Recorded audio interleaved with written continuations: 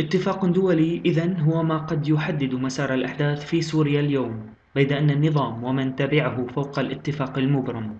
في محافظة حما وتحديدا بريف حما الجنوبي نرى جليا ما يتحدث عنه الثوار. خرق علني واضح من قبل النظام تبعه رد دفاعي للثوار منعا لاقتحام بلدة حرب نفسه.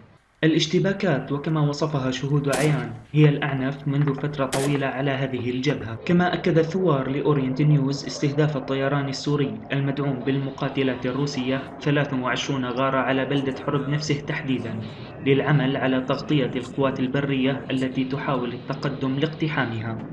من جهته وكما افتعل النظام رد الثوار بالمثل. فقد أطلق صواريخه باتجاه المحطة الحرارية المركز الأمني لقوات النظام في بلدة الزارة بالريف الجنوبي.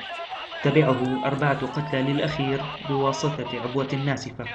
إذا لهيب الأحداث المتواترة باتت علنية اليوم في ريف حماة الجنوبي. سهر الأحمد أورينت نيوز.